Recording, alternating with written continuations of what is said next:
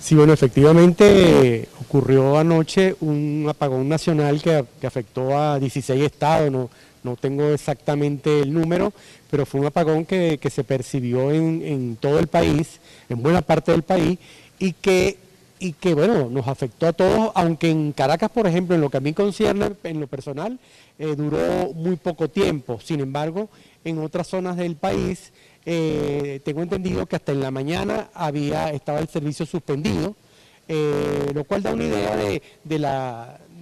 primero de lo, de lo, de lo vasto del, apagón y, y además de, los distintos efectos que tuvo, o sea, no fue igual. Yo no hay ninguna información oficial al respecto,